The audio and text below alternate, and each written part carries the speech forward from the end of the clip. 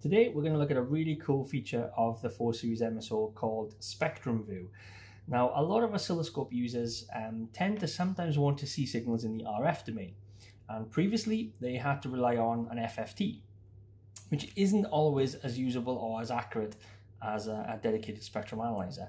But with Spectrum View we've come up with something a little bit different than FFT.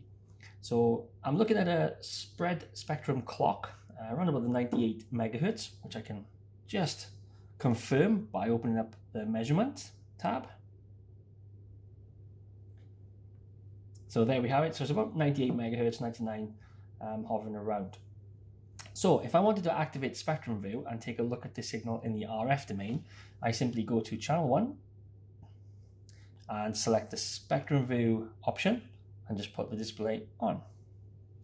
So there I have now a spectrum an RF domain view of the same signal input in channel 1 and it's completely independent. So even if I was to adjust my acquisition on my time domain it does not affect my spectrum view.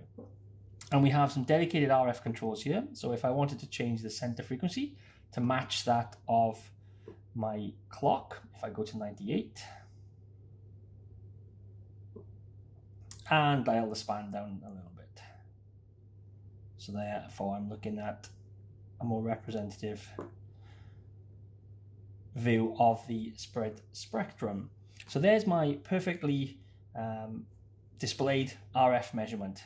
And if I was to adjust my time domain, it is completely independent of the RF domain signal in the spectrum view.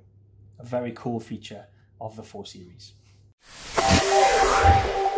Música